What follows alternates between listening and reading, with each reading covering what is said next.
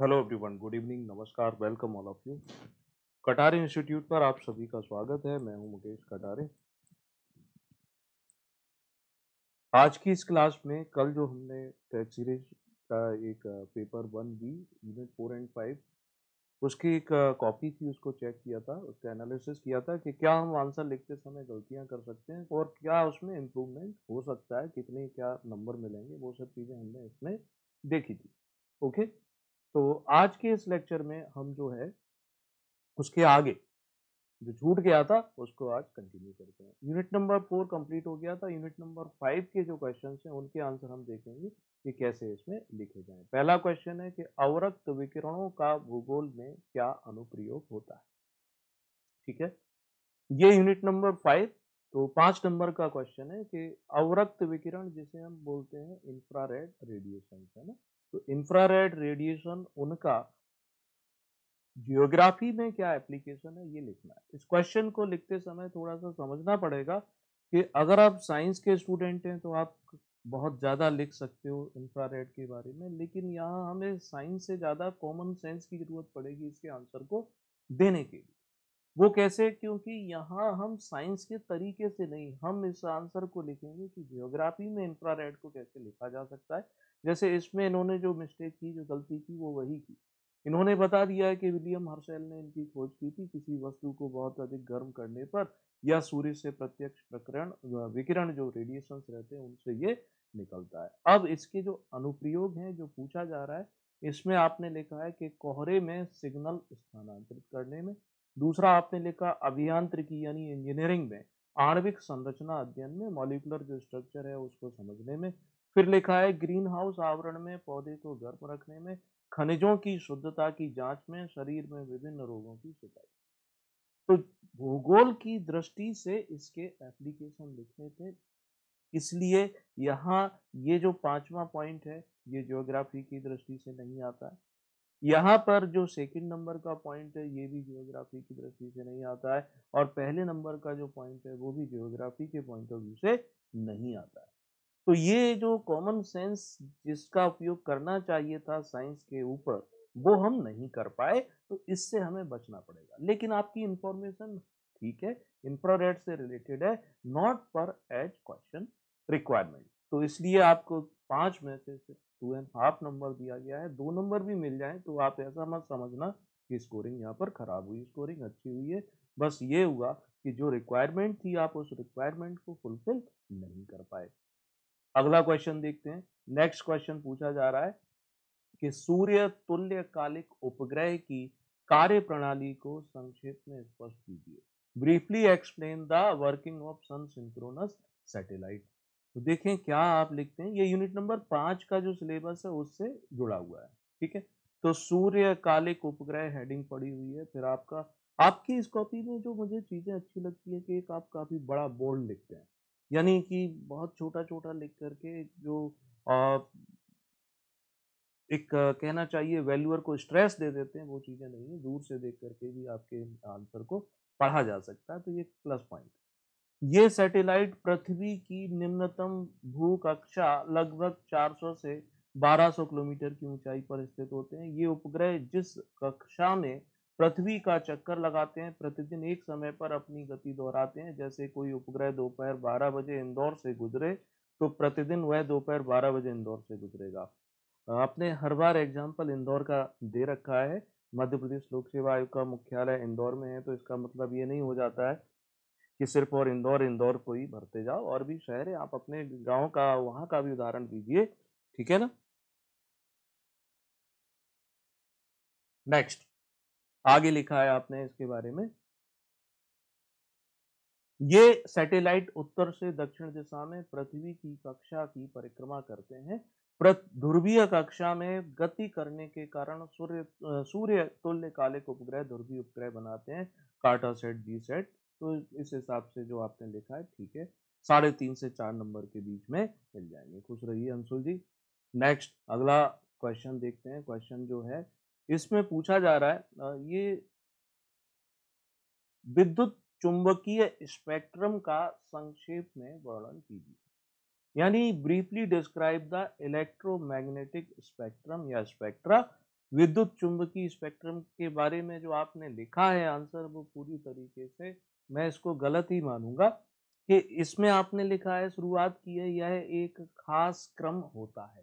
तो ऐसे शब्दों से बचो, खास क्रम होता है। विशेष क्रम लिखें यह एक सीरीज़ है, जिसमें विभिन्न गुणों वाली विद्युत चुंबकीय तरंगों को उनकी बढ़ती तरंग दैर्ध्य के रूप में रखा जाता है। आगे आपने इसमें फ्लो चार्ट बनाया, विद्युत चुंबकीय स्पेक्ट्रम एक दृश्य है विजिबल है, दूसरा अदृश्य है।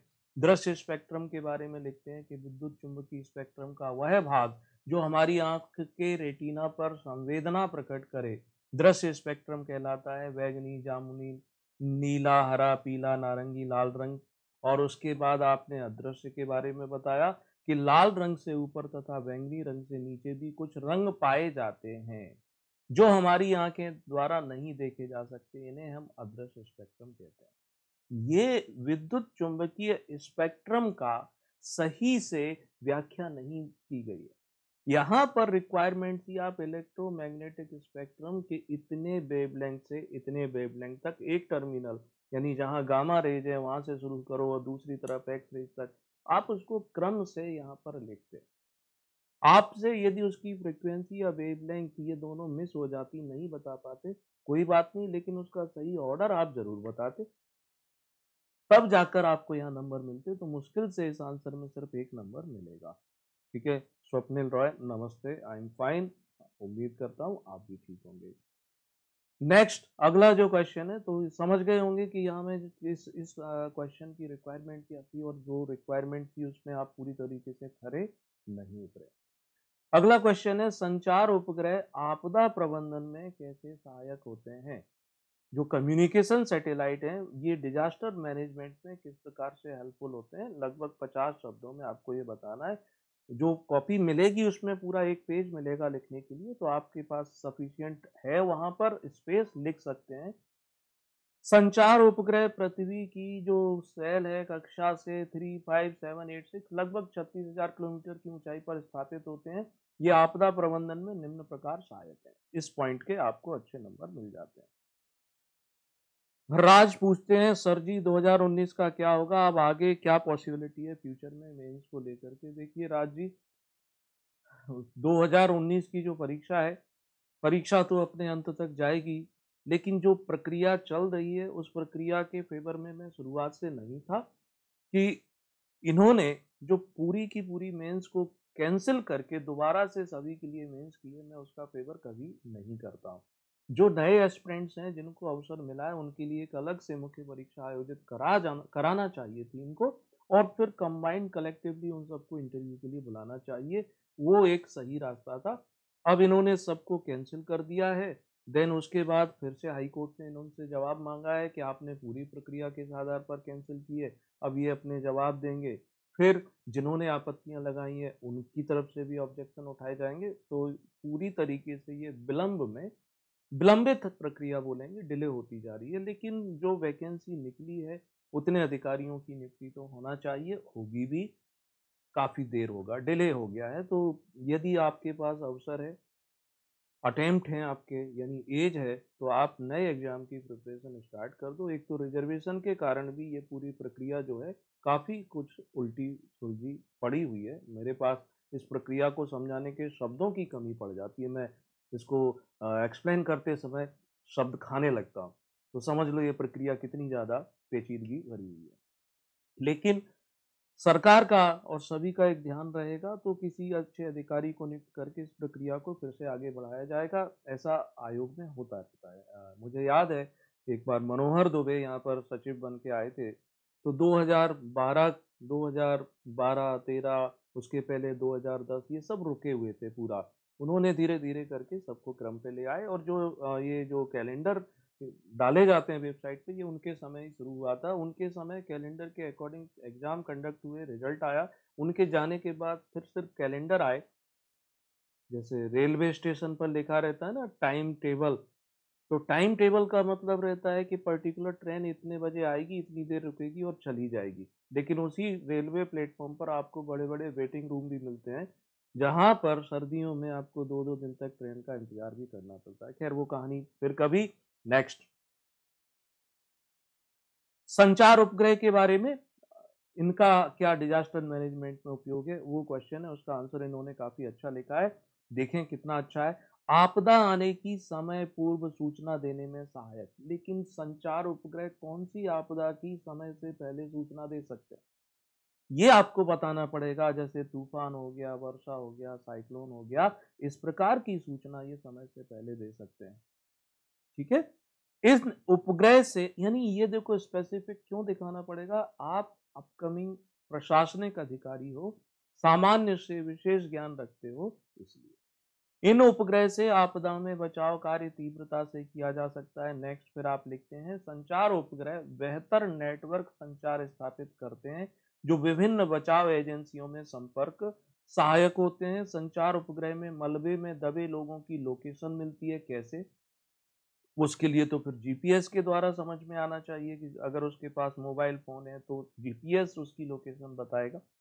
संचार उपग्रह आपदा प्रबंधन के दिशा निर्देशों को उपलब्ध कराते हैं। ये जो पॉइंट है कि कम्युनिकेशन सैटेलाइट किस प्रकार से डिजास्टर मैनेजमेंट में सब जो सहायता पहुंचाते हैं, उन पॉइंट से ठीक से रिलेट नहीं हो रहा है।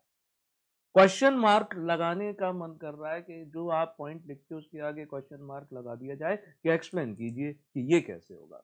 तो यहाँ इसलिए आपको आधे नंबर यानी 50 परसेंट ही यहाँ परफॉर्मेंस है, उससे ज़्यादा नहीं। लेकिन निराश नहीं होना है, पाँच नंबर के क्वेश्चन में विशेष ऐसा आप उम्मीद नहीं कर सकते कि हर क्वेश्चन के लिए हमें चार नंबर मिल जाएँगे। अगर दो से तीन नंबर भी मिलते हैं देन ओके ग्यारह नंबर और तीन नंबर पर आपको विशेष ध्यान देना पड़ेगा। ठीक है?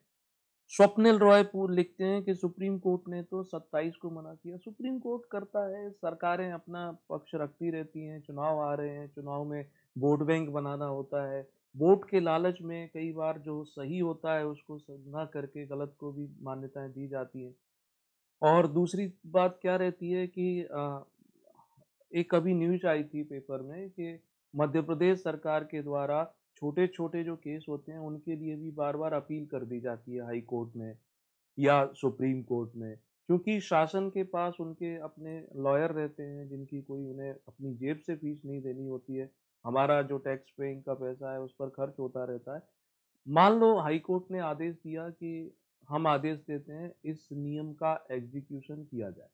अब सरकार उसके एग्जीक्यूशन को करना नहीं चाहती है डेडलाइन उसकी निकल चुकी है तो कंटेम्प्ट ऑफ़ कोर्ट लगेगा। कंटेम्प्ट ऑफ़ कोर्ट से बचने के लिए ये अगली अपील कर देते हैं। ये कुछ उलझा हुआ जाल है तो चलता रहेगा। ठीक है? अब सत्ताईस रहेगा कि नहीं रहेगा, वो एक अलग मैटर है, उस देखते हैं, समय का इंतज़ार करो क्या होता है। अगर 27 प्रतिशत मिलता है तो मध्य प्रदेश में टोटल रिजर्वेशन 73 परसेंट हो जाता है। अभी सुप्रीम कोर्ट ने कहीं पर भी 50 प्रतिशत से अधिक आरक्षण को मान्यता नहीं दी है। अलग अलग राज्यों के प्रकरण विचाराधीन है। कहीं पर भी सुप्रीम कोर्ट ने 50 से अधिक को अलाउ नहीं किया है। यदि वो करते हैं तो 27 क्या 100 प्रतिशत भी हो सकता है। तो ये समय ही इसका सही आंसर देगा। अच्छा लग रहा है मुझे देखते हुए अंशुल काफ़ी दिनों के बाद। लाइव तो मैं आता हूँ, वो बात अलग है कि वीडियो कैम चालू नहीं रहता होगा। बाकी तो क्लासेस तो आपको लाइव मिलती है। ठीक है ना? नेक्स्ट अब चलते हैं फुल क्वेश्चन की ओर। ये जो थ्री पाँच नंबर के, पांचवी यूनिट के थे, वो कंप्लीट हो गए। फोर्थ यूनिट के जो क्वेश्चन थे या इस पांचवी यूनिट के तीन नंबर के क्वेश्चन थे इसका जो वीडियो है, कल मैंने बनाया था तो आप उस कल वाले को जाकर देख सकते हो। यही कॉपी कल के लिए थी। चलो, नेक्स्ट, अगला है यहाँ यूनिट नंबर फोर का क्वेश्चन है कि जल संरक्षण और प्रबंधन आज की आवश्यकता है क्यों? इसके समक्ष या इनके समक्ष क्या चुनौतियाँ हैं? Why is water conservation and management the need of the present day what are the challenges before that पहला ये क्वेश्चन जो है काफ़ी अच्छा है। अगर इसको ऑप्ट करके लिखते हैं तो आपकी मार्किंग में एक या डेढ़, दो नंबर ज़्यादा मिलेंगे दूसरे क्वेश्चन की तुलना में। चॉइस थी यहाँ पर कि घटता भू जल स्तर, इसके क्या कारण हैं और इसके क्या निवारण हो सकते हैं। थैंक यू सो मच यदि देखकर अच्छा लगता है तो दिखाई देते रहेंगे।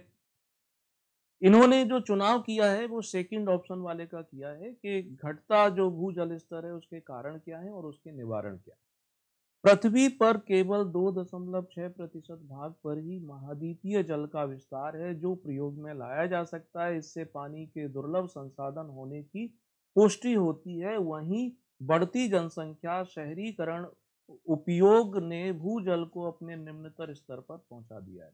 ये इनका इंट्रो है, शुरुआत है, प्रभावी शुरुआत में इसको मानूँगा। एक अच्छी शुरुआत है इस प्रश्न की। ठीक, अब इसके कारण जो आपने बताए, ये पॉइंट बहुत अच्छा लगा कि घटते भूजल स्तर के प्रमुख कारण भू वैज्ञानिकों के अनुसार। मेरे अनुसार नहीं, आपके अनुसार नहीं, किसके? जियोलॉजिस्ट के अनुसार आप बता रहे हैं। तो ये रेफरेंस ले लेंगे ले लेंगे। यदि पॉलिटी का क्वेश्चन है तो लिख देंगे, संविधान विशेषज्ञों के अनुसार। मान के चलते इकोनॉमिक्स का क्वेश्चन है तो आप लिख देंगे कि अर्थशास्त्रियों के अनुसार। समाज शास्त्र का क्वेश्चन है तो सोशलिस्ट सोशलॉजिस्ट या समाज शास्त्रियों के अनुसार। ये आपको एक प्रकार से ये समझ लो सपोर्ट मिलता है कि हम गन फायर कर रहे हैं। पीछे से एक मज़बूत सपोर्ट मिला हुआ है कि करो फायर अगर पीछे बैक फायर होगा तो हमारे ऊपर आएगा, आपके ऊपर नहीं आएगा। गुड यहाँ पहला पॉइंट लिखा कि सिंचाई की अनुपयुक्त प्रणाली एक सर्वे के अनुसार कई मिलियन क्यूबिक पानी व्यर्थ हो जाता है। तो ये जो इसमें सिंचाई के संबंध में कई मिलियन, ठीक, मान लिया। जल संसाधन मंत्रालय के अनुसार व्यक्ति अपने व्यक्तिगत उपभोग हेतु कई क्यूबिक पानी मात्र गाड़ी धोने पर खर्च करता है। देखो तो पहले पॉइंट में तो चल गया कई क्यूबिक मिलियन या कई मिलियन क्यूबिक लेकिन वैसा ही दूसरे पॉइंट में अगर लिखोगे तो फिर ऐसा लगेगा कि इसको डाटा आंकड़े नहीं पता है, इसने कोई रिपोर्ट नहीं पढ़ी है, या समाचार पत्र में दी गई जानकारी को ये याद नहीं रख पाया है, इसलिए ये सिर्फ़ कई क्यूबिक पानी या मिलियन लिख करके ही काम चला रहा है। इसलिए तुरंत लगे हुए पॉइंट पर वैसे ही शब्दों का प्रयोग करने से बचना चाहिए। यहाँ पर आंकड़े लिखो, लगभग लिखो, ठीक। नेक्स्ट है, नीति आयोग की वाटर कंपोजिट मैनेजमेंट रिपोर्ट के अनुसार। ये अच्छा पॉइंट है, इसको आप अंडरलाइन कर सकते हैं कि वाटर कंपोजिट मैनेजमेंट रिपोर्ट कौन सी? नीति आयोग की, है ना? तो ये अंडरलाइन किया जा सकता है। प्रतिवर्ष घटता वन आवरण से भूजल निम्न स्तर पर जा रहा है। बिजली सब्सिडी के कारण कुछ क्षेत्र जैसे पंजाब, हरियाणा, पश्चिम, उत्तर प्रदेश 24 घंटे ट्यूबवेल चलाने से जल स्तर घटा। ये तो ऐसा लग रहा है कि मेरा पढ़ाया हुआ उदाहरण यहाँ पर टीप दिया गया है। यस और नो नेक्स्ट है, अनुपयुक्त कृषि प्रणाली जैसे अत्यधिक मात्रा में रासायनिक उर्वरक कीटनाशकों के प्रयोग से खेतों की आर्द्रता समाप्त होने से जल स्तर का कम होना ये पांचवा पॉइंट और पहले नंबर का पॉइंट सिमिलर है। वहाँ पर अनुपयुक्त कृषि प्रणाली थी, यहाँ पर भी ये है। साथ में आपने रासायनिक उर्वरक और कीटनाशक जोड़ दिए हैं। तो ये इतने गैप के साथ जो लिखा है, ये एक अच्छा पॉइंट है। नेक्स्ट नदियों के तलछट भरने से बाढ़ द्वारा मृदा अपर्दन जैसे चंबल नदी द्वारा अवनालिका अपर्दन से गहरे खड्ड बन जाते हैं जल स्तर नीचे चला जाता है। यानी एक पेज में आपने कारण बता दिए। अब निवारण की ओर चलते हैं, लेकिन यहाँ जो कारण बताए हैं, उसमें आंकड़े मुझे नहीं दिखे। किसी की रिपोर्ट का नाम ज़रूर है, लेकिन तथ्यात्मक जानकारी कि इतने वर्षों में इतना गिर जाएगा या जल संसाधन मंत्रालय ने बताया कि आने वाले समय में हमारी इतनी आबादी जो है पीने के पानी से वंचित हो जाएगी, ऐसी कोई चीज़ें इसमें नहीं बताई गई। ये माइनस पॉइंट है आपके लिए। जो बताएगा उसके लिए प्लस पॉइंट हो जाएगा। निवारण के संबंध में कृषि की अनुपयुक्त प्रणाली के स्थान पर जैविक कृषि को बढ़ावा देना, सिंचाई व्यवस्था में सुधार कर टपकन तथा स्प्रिंकलर सिंचाई को बढ़ावा देना, जल संचयन को जल संचयन की नवीन तकनीक जैसे वाटर हार्वेस्टिंग को अनिवार्य करना, इंदौर नगर निगम ने ये किया है। वर्षा जल संचयन की प्राचीन परंपरा जैसे बावड़ी, कुआँ, खदान, ये खदाने स्रोतों को अपनाना। ये मैं पढ़ नहीं पा रहा हूँ, क्या है ये? फिर इसमें लिखा है, मरुभूमि विस्तार रोक में अत्यधिक वृक्षा मरुभूमि विस्तार क्षेत्र में अत्यधिक वृक्षारोपण करना प्रमुख पर्यावरण जैसे भारत के जल पुरुष राजेंद्र सिंह को जल संरक्षण अभियान जैसे अभियान का ब्रांड एम्बेसडर। तो अभियान जैसे अभियान का ब्रांड एम्बेसडर, थोड़ा बाकी ठीक कर लेंगे, बाकी पॉइंट आपका बहुत अच्छा लगा, करेंट से आपने इसको रिलेट किया है। राष्ट्रीय जल जीवन मिशन तथा नदी जोड़ो परियोजना को वास्तविक धरातल पर लाना। तो टिप्पणी आपकी यहाँ लिख दी गई है कि जो कारण में डाटा का प्रयोग जो है वो नहीं किया है, करते तो इफ़ेक्टिव हो जाता और सेकंड पार्ट यानी निवारण वाला पार्ट जो है फ़र्स्ट की तुलना में कहीं बेहतर है। पहले वाला उतना अधिक बेहतर नहीं था। लास्ट में निष्कर्ष है। कहा जा सकता है कि जल जो अमूल्य संसाधन है, इसके संरक्षण पर ध्यान देना चाहिए। वरना कुछ रिपोर्ट के अनुसार 2030 तक हमारे देश में जल की मांग तथा आपूर्ति में 50 प्रतिशत का अंतर आ जाएगा। अतः इसमें व्यक्ति, सरकार तथा कुछ संगठन की ज़िम्मेदारी महत्वपूर्ण हो सकती है। तो रिपोर्ट का रेफरेंस आपने लास्ट में लिया है। वेरी गुड बहुत अच्छा है। ठीक है। अब मार्किंग कितनी करना चाहिए? ग्यारह नंबर का क्वेश्चन है तो उस क्वेश्चन के अकॉर्डिंग आपको यहाँ पर आठ से नौ नंबर के बीच में दिए जा सकते हैं। ठीक है? तो अच्छा है, नेक्स्ट, अगला देखते हैं। अगला है, यूनिट नंबर फाइव से रिलेटेड, कि भारतीय क्षेत्रीय नेविगेशन उपग्रह प्रणाली क्या है? इसके घटक और महत्व को समझाइए। What is the Indian regional navigation system explain its components and importance तो इसको देखते हैं। उसके पहले जो हमारी नई क्लासेस स्टार्ट हो रही हैं, उनको आप ज्वाइन कर सकते हैं। इसमें आंसर राइटिंग का भी मिलेगा। स्पेसिफिक क्लास है। दूसरा पीटी को लेकर इंटीग्रेटेड को लेकर 2022 को लेकर नई क्लास है। ऑफलाइन और ऑनलाइन वो आप ज्वाइन कर सकते हो। टेस्ट सीरीज़ भी ज्वाइन कर सकते हो। टोटल 25 टेस्ट हैं। उसके लिए जो फ़ीस है, वो रखी गई है थ्री थाउज़ेंड रुपीज़ इसी तरीके से हम टेस्ट को खुद चेक करते हैं, वो आप देख सकते हैं। चलो अब इस क्वेश्चन का आंसर देख लेते हैं, कैसा लिखा है कि भारत एक विकासशील देश है तथा बदलते सामाजिक, आर्थिक दृष्टिकोण के कारण निरंतर हमारे देश में नवीन तकनीक का आगमन हो रहा है। इसी तकनीक का एक महत्वपूर्ण घटक भारत की क्षेत्रीय नेविगेशन प्रणाली है। शुरुआत यानी इंट्रो आपकी सही है, अच्छी है, प्रभावी मानी जाएगी। सेंटर हेडिंग लेकर के आप लिखते हैं कि भारत की क्षेत्रीय नेविगेशन प्रणाली का नाम नाविक है। बहुत अच्छा अंडरलाइन किया जा सकता है, किया हुआ है आपने। इसका विकास भारतीय अंतरिक्ष अनुसंधान संगठन बंगलुरु के द्वारा उद्देश्य भारत की सीमा के भीतर तथा सीमा से 1500 किलोमीटर दूर तक की वस्तु की स्थिति का पता लगाना।